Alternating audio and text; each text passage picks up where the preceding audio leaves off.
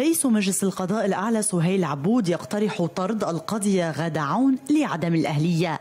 هو العنوان الذي تصدر جريدة الأخبار. هو السبب بحسب المقال انقلابها على الصورة المكرسة عن القاضي الصامت.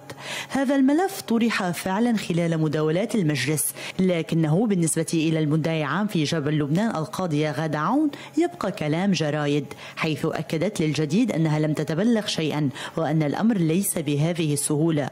وال الكل يعلم الخلفية السياسية للحملة. في الوقت نفسه تستغرب عون التهم الموجهة إليها من قبل رئيس مجلس القضاء الأعلى لناحية عدم انضباطها وسفرها إلى الخارج والتصريحات الإعلامية. وتقول هناك عدد من القضاة يفصحون عن آرائهم السياسية حتى على صفحات التواصل الاجتماعي. وتؤكد عون أن تطبيق المادة الخامسة والتسعين من قانون تنظيم القضاء العدلي أي طردها من السلك القضائي هو خط أحمر مشيرة إلى أن من يحاول أن يستخدمها ضدها بالتواطؤ مع بعض النافذين والمتضررين من الملاحقات التي تتولاها. ستأتي بالضرر عليه أولا. وتابعت لتصف هذه الممارسات بالديكتاتورية والمستهجنة وليس من المفترض أن يكون على رأس القضاء. هيك ناس هم ليسوا أهلا. قانونيا عدم أهلية قاض لا تعني الجنون. وبمجرد خضوعه للمادة الخامسة والتسعين يعد إجراء طارئا. لا يمكن مراجعته حتى لدى مجلس شورى الدولة. وهو بحاجة بحاجة إلى ثمانية أعضاء من مجلس القضاء الأعلى من أصل عشرة كما يوضح الرئيس السابق للمجلس القاضي غالب غانم. مادة 95 هاي انوضعت من حوالي 20 سنة أو أكثر شوي. آه كمادة طوارئ. يعني ليش مادة طوارئ؟ لأنه آه يعني آه حطوها بموازاة.